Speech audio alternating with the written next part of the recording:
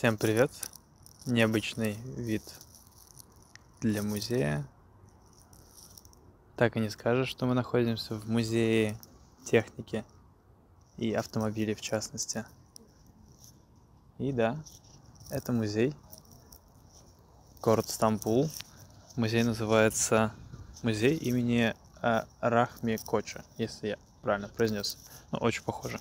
Находится недалеко от центра города, и сейчас я вам все покажу.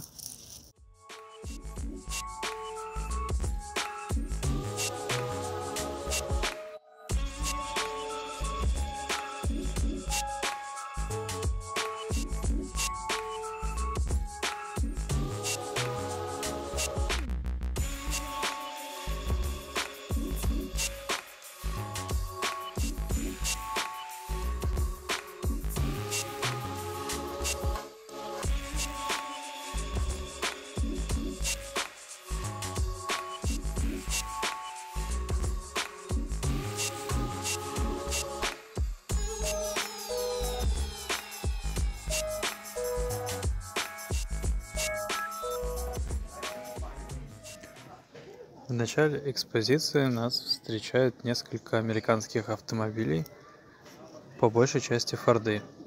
Тут вообще в музее достаточно много американских машин. По моим ощущениям, чуть ли не половина из всех представленных на выставке автомобилей – это американцы. Ну и классический Ford Model T, бестселлер. Кстати, написано, что этот автомобиль в каком-то фильме снимался.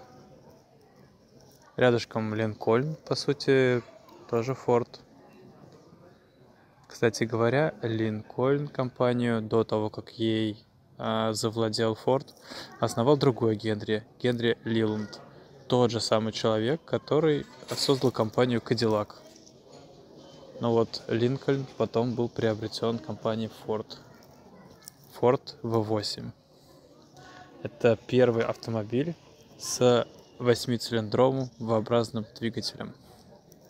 И что круто в этом музее, а, ко многим экспонатам можно подойти прям практически вплотную. И мало того, что подойти вплотную, так еще и заглянуть в салон. Сейчас я включу подсветочку.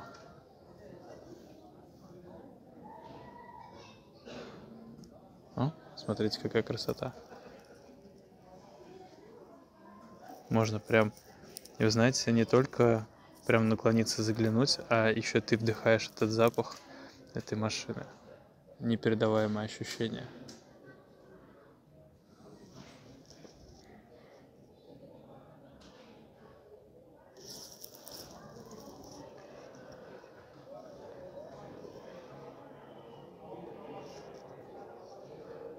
Вот еще один Ford, также с двигателем V8, еще довоенная модель.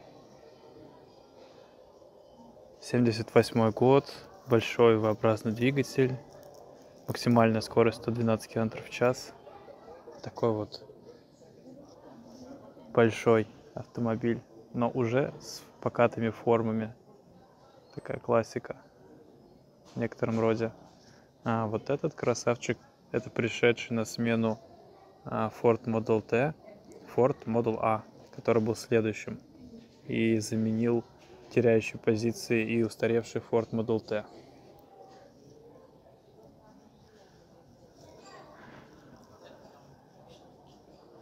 И здесь тоже можно заглянуть прямо в салон, что круто.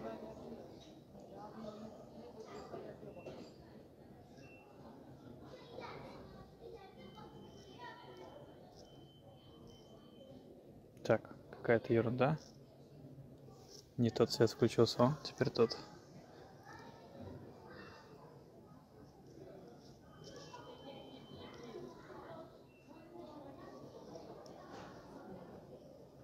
Можно прям, ну, то есть ограждение настолько близко к автомобилям, что, знаете, прям можно наклониться и как будто бы внутри оказаться. Очень интересно. А некоторые детишки, я видел, даже открывали двери у автомобилей. Еще один именитый американец, но уже Кадиллак, основанный тем самым Генри Лиландом, о котором я вам говорил ранее. Огромный автомобиль огромное количество металла. Красота.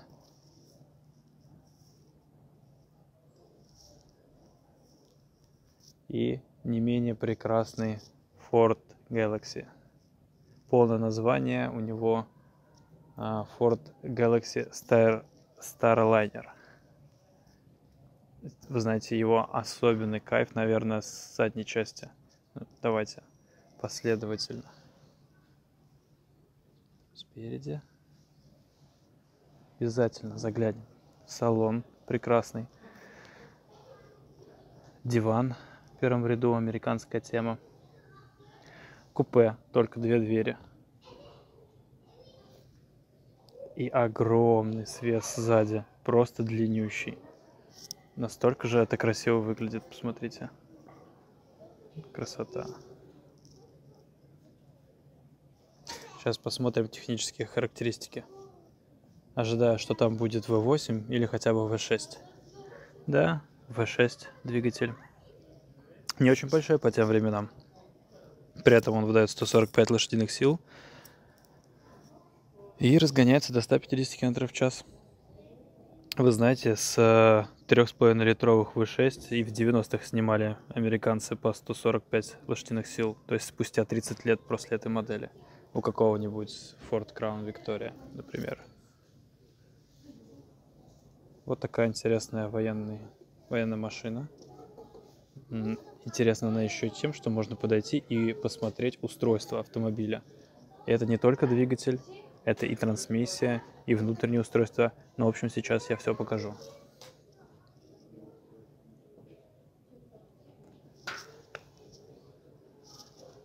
Можно подойти и в салон заглянуть. И даже под машину. Тут есть специальное зеркало, в котором можно посмотреть устройство снизу автомобиля. Там мы видим классическую историю двигатель, от него карданный вал. Единственное, что помимо заднего моста, который я ждал увидеть, я вижу какую-то здоровенную штуку. Не знаю, почему она такая большая и для чего это нужно. Свет нам еще понадобится. Угу.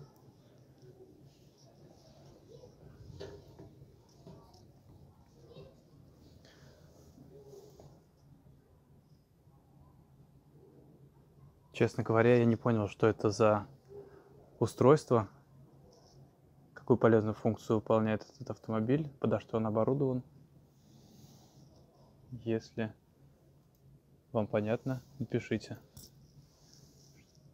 То это как будто измерительный какой-то прибор или швейная машинка. Понятно, что это.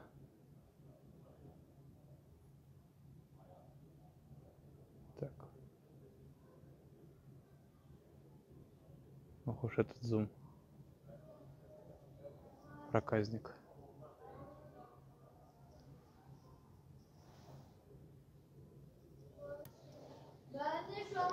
Еще из интересного у этого автомобиля, соответственно, шины не накачиваются воздухом, а такие как колбаса на велосипеде дружок. Ну, он военный. В целом логично звучит. А это получается ничего дополнительно люди не снимали, чтобы показать нам двигатель. Просто так открывался капот.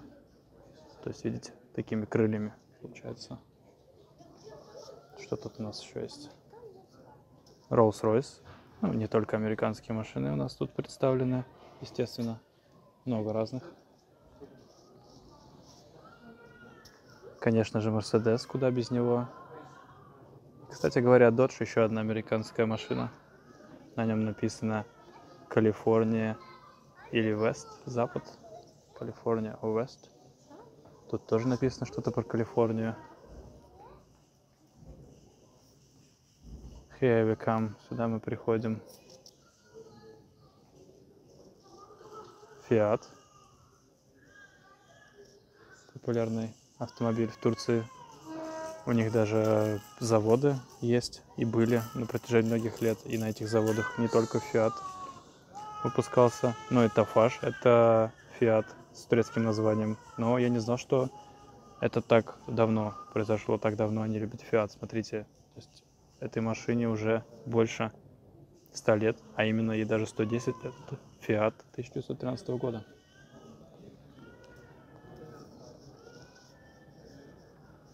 Вот в этот luxury Bentley тоже можно заглянуть в салон, что мы сейчас с вами сделаем. Не в каждом музее, кстати говоря, есть возможность так прям близко подойти и посмотреть. О, смотрите, какой красавчик. Мы его спукнули. Ходит тут, как у себя дома. Потому что думаю, это и есть его дом. Вот он, красавчик, смотрит, игрунец.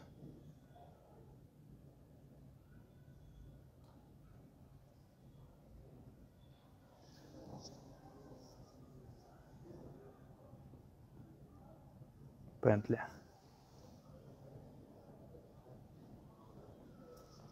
Первый зал экспозиции.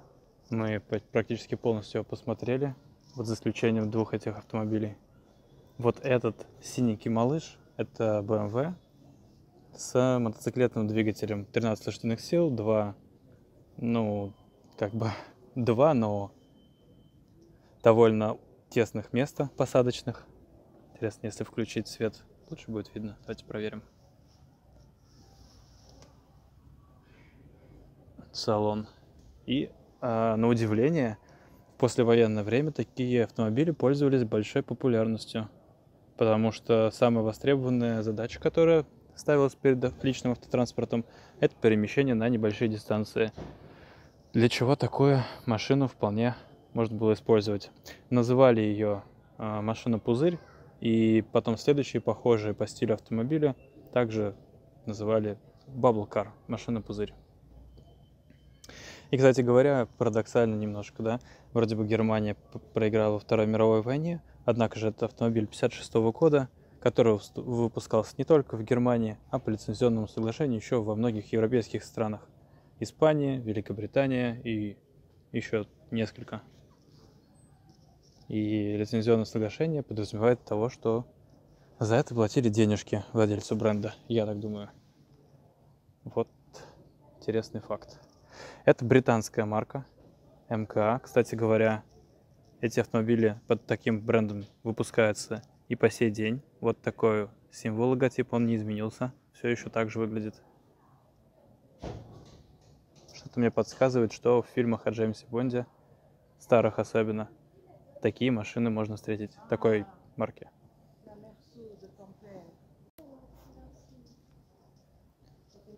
Экспозиция первого зала а, полностью нами с вами осмотрена.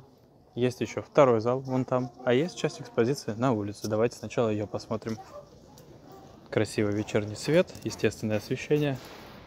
Давайте смотреть. Не знаю, относится ли вот этот Fiat к баблкарам. Можно, кстати, посмотреть. Это, кстати говоря, Fiat 500.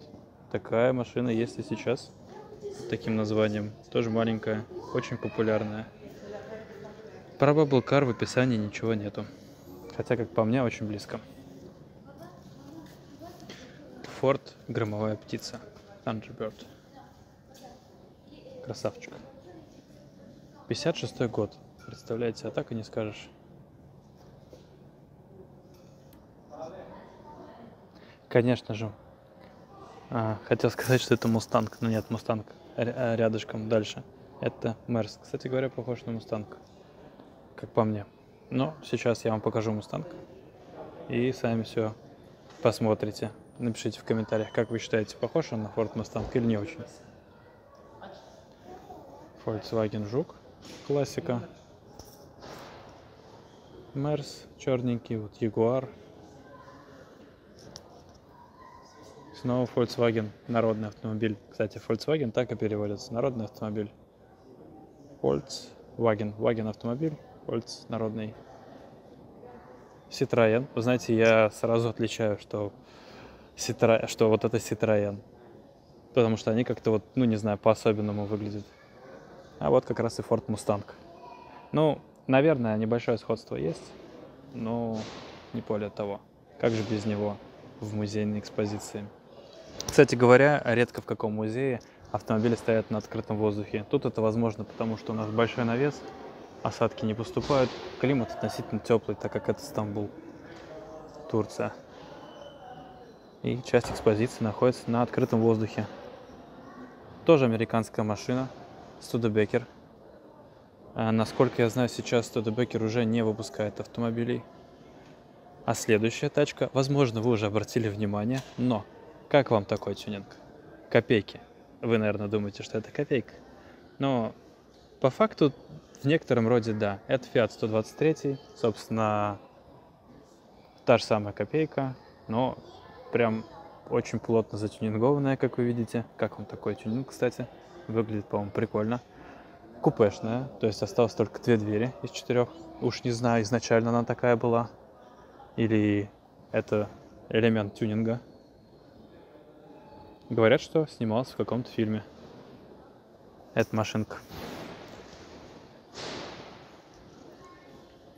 Шевролет. Шевел. Хардтоп купе. Мне так нравится, как они называли свои машины. Хардтоп купе. Это купе, у которого жесткий верх. Ну, знаешь, логично. Так, такой, так и назовем машину.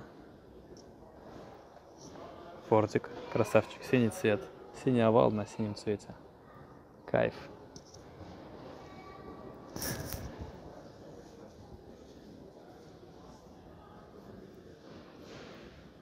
Снова Форд.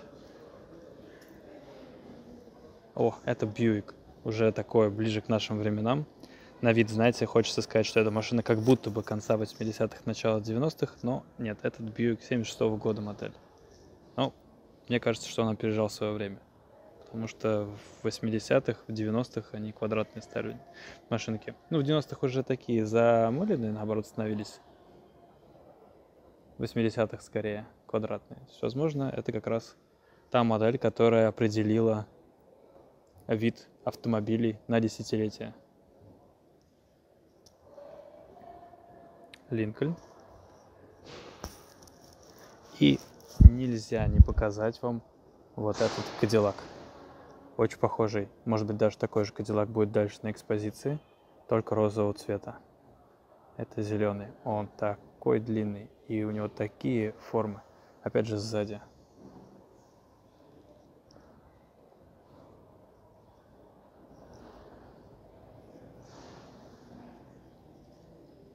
Devil Hardtop купе.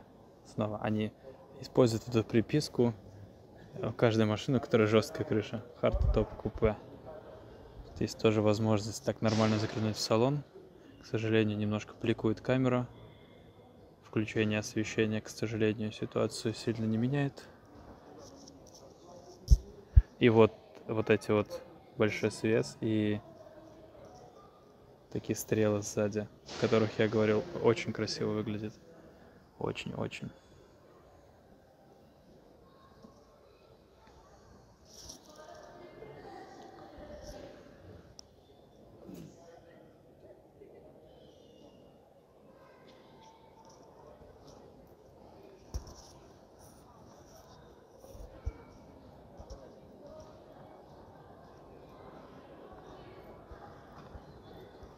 Это Бьюик.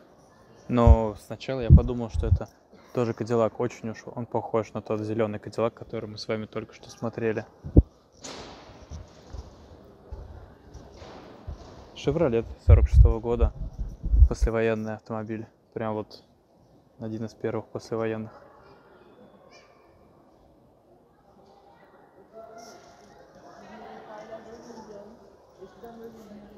И вот этот розовый кадиллак, о котором я уже упоминал. Наверное, такой ведь э, автомобиль был у Элвиса Пресли.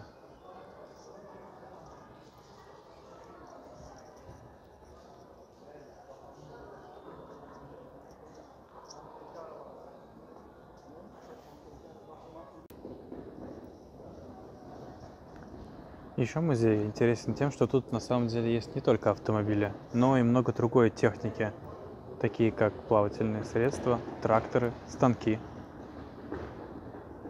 самолеты. При входе я видел самолеты. Так что музей интересен будет не только любителям автомобилей, а вообще в целом всем любителям каких-то изобретений, приспособлений, техник, техники в общем. Такой технический музей. Кажется, он так и называется. Технический музей имени Рахми Коча. Надеюсь, я правильно произношу это название. В музее также есть автомобиль, в котором можно посидеть. Это Аустин. Написано, что это английская марка автомобилей. Можно покрутить руль, понажимать педали. Представляете, сколько им лет. Кнопочки на приборной панели. Попереключать передачи, которые, кстати, работают отлично. Четыре положения. Возможно, это четыре передачи или три вперед, одна назад. И это похоже на ручной тормоз. То есть я сижу внутри, очень, кстати говоря, здорово раскачивается машина. То есть так вот плавно отрабатывают рессоры, видимо. Очень интересно, знаете, ощутить, каково это было а, сидеть и передвигаться в автомобиле тех времен. Чтобы открыть дверь, нужно взяться за ручку снаружи. Не знаю, было ли так задумано изначально, или это уже в процессе выставки так получилось с автомобилем. Вот я сейчас стою на подножке. Знаете, представляю себя каким-то киногероем даже. Если немножко вот так пораскачивать машину, то чувствуется, насколько мягко отрабатывает подвеска. Очень мягко, очень чувствительно. Я буквально чуть-чуть пока покачиваюсь на мысочках, и машина заметно откликается подвеской. Сейчас я покажу вам этот автомобиль снаружи. Это, кстати, очень интересный опыт. До этого мне не приходилось сидеть в таких автомобилях. Тут, в музее, такая возможность есть. Конечно же, часть деталей поломана. Видно, что машина как бы потрепана немножко таким вот использованием, но выглядит достаточно комплектной.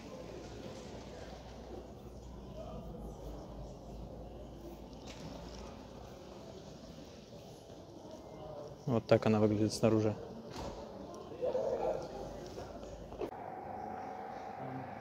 Также в музее есть комната, которая называется How to Works, то есть как это работает. Очень интересные экспонаты. Тут разные механизмы, можно посмотреть, как работают. Вот, например, двигатель внутреннего сгорания. Сейчас попробую включить свет, посмотрим, будет лучше видно. Да, видно лучше. Тут есть кнопки. Нажимаем кнопку и запускается механизм. И вот мы видим, как в разрезе работают двигатель внутреннего сгорания, как у нас получается происходит сгорание в четырех камерах в последовательности 1, 3, 4, 2. То есть первый цилиндр, четвертый, потом третий, потом второй. Возгорание происходит в таком порядке. И эти возгорания толкают, получается, а, поршни а поршни через такие шатунные механизмы приводят в движение вал, а с вала уже в коробку передач идет э, кинетическая энергия вращательная. Вот также тут представлена работа газораспределительного механизма. То есть вот эти кулачки на верхнем валу, э, они, получается, то открывают, то закрывают в нужной последовательности, опять же, клапаны, чтобы либо впускать, либо э, смесь топливную, либо выпускать отработанные газы после того, как сгорание вот тут в цилиндре произошло. Еще один двигатель в разрезе. Также с кнопки запускается. Тут уже получается помимо самого двигателя есть навесное частично. Работает чуть медленнее. Тут вот есть приводной ремень, который приводит в движение генератор. Водяную помпу вон там и вентилятор охлаждения. Ну и также мы видим, также работает двигатель, как предыдущий. Также есть трактор в разрезе. Можем увидеть двигатель трактора, органы управления. А, я хотел сказать, что это коробка передач, но, возможно, у трактора она как-то иначе называется, потому что тут еще а у них валы отбора мощности присутствуют где-то, которые позволяют полезную работу совершать. Есть роторный двигатель. Тут его прям за рукоятку можно взять, повращать. Получается вот у нас цилиндры. Вот свечи зажигания вставляют, значит там цилиндр находится. Тут искра подается раз-два. Раз-два. Что, двухцилиндровый, что ли, как будто бы? Ну, получается визуально как, как, как бы похоже на то, что ли. Но вообще мне, мне казалось, что должно быть больше цилиндров. Больше. Точнее, тут, ну, немножко э, неправильно сказал, нету тут цилиндров. Возгорание происходит прямо вот здесь. То есть вот в этой секции, которая динамически меняет свой размер в зависимости от положения вот этого вот треугольника. Ну, условно назовем его треугольником. То есть как таковых цилиндров нету. То есть цилиндров точно нет. Есть камера сгорания. Камера сгорания имеет переменный размер. Поправился. И, соответственно, возгорание здесь проталкивает, получается, в нужном направлении всю конструкцию. И также на выходе мы получаем, что вращается вал. Это грузовик. Очень, кстати, много техники именно от фордов. А, вот это тоже грузовик фордовый. Нажимаю кнопку. Тут прямо полный цикл. Помимо того, что мы видим работающий двигатель, также видим, как через коробку передач приводится в движение карданный вал, который в свою очередь идет на дифференциал задний, и он приводит движение колесо. То есть прямо полный цикл можно посмотреть. Очень интересно. Также в комнате Outworks представлен автомобиль то есть вот двигатель мы с вами смотрели, внутреннее сгорание как работает. Тут получается двигатель это лишь часть экспоната. Тут можно увидеть прочие механизмы и системы автомобиля. Причем как с э, стороны двигателя, так и в салоне. К сожалению, отсвечивает. Только если выключить свет, попробуем. Лучше не стало. А, вот, зато тут видно салон в разрезе. Очень интересный концепт, такого тоже не встречал. Со всех сторон немножко понадкусан, чтобы можно было посмотреть, как устроен автомобиль со всех сторон. Это очень интересный экземпляр как сам по себе, но также он интересен тем, что мы можем снова заглянуть в салон, как мы делали это у некоторых предыдущих автомобилей. Это Ford Model N, предшественник Ford Model T, их было произведено чуть больше 13 тысяч. Это автомобиль для британского рынка получается, потому что он, во-первых, праворульный, во-вторых, на эмблеме спереди мы можем видеть британский флаг. Сейчас я вам это покажу. А также надпись. Очень много общего с каретой. Рессоры очень похожи на каретные. Компоновка сидений Разве что руль добавился. Ну и, соответственно, двигатель. Заводился он вот с такого стартера, ручной стартер, он же кривой ключ, он же просто кривой. И вот британский флаг, о котором я вам говорил, и надпись. Написано, что тут написано? Royal Automobile Club Associate, что можно перевести как элитная ассоциация элитного автомобильного клуба. Как-то так. редко когда встретишь а, какой-то автомобиль а, Фордов, который старше, чем Ford Model T, предыдущий автомобиль. Наверное, первый раз, когда я такую машину встретил.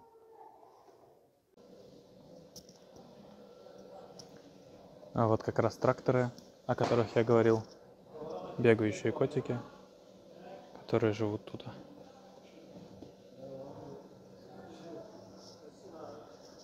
Что интересно, у старых тракторов колеса были без протектора, вот такие гладенькие.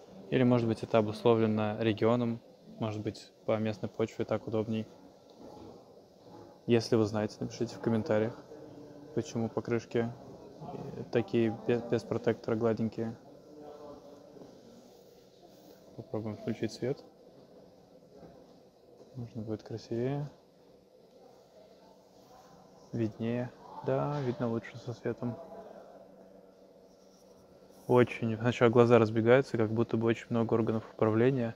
Но кажется, это все всякие магистрали гидравлические, паровые, топливные, не знаю.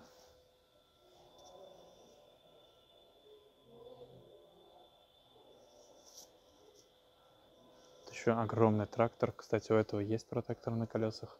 И это натурально трактор на паровой тяге. То есть я всегда думал, что только паровозы были на паровой тяге. Как оказалось, тракторы тоже. И это новость для меня.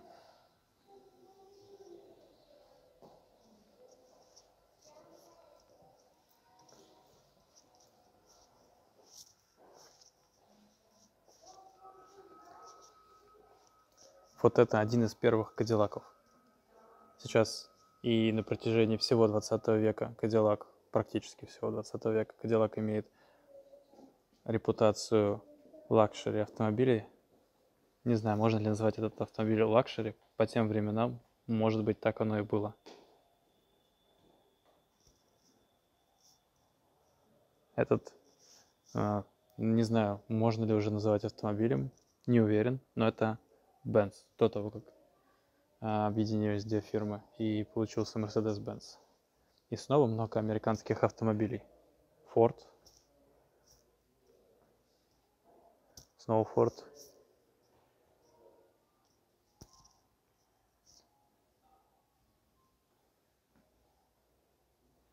Это что-то другое. Это Sharon. Sharonette. Да, я сразу подумал, что это французская машина, так оно и оказалось. Конечно же, куда без хитового Ford Model T. Он тут, получается, в нескольких экземплярах представлен. Э, по меньшей мере три уже я видел. Ford Model T в разных исполнениях. Снова Ford Model A. Ну, А в смысле, Ford Model A. А нет, наврал. Наврал, извините. Это Ford Model TT. То есть это на базе T сделали автобус. Так и написано. Ford Model TT Bus. американские автомобили, есть европейские автомобили. Fiat, вот, вот это Фиатик. Ford.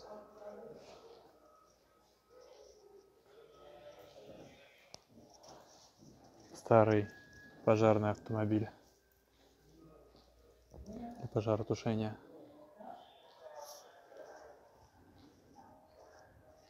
И еще ряд автомобилей, несколько штук. Наверху расположены кареты, телеги, мотоциклы. В общем, музей интересный в целом, не только своими автомобилями, но и вообще. Поэтому рекомендую к посещению. Надеюсь, вам было интересно и вы нашли это видео полезным для себя. Желаю вам всего доброго.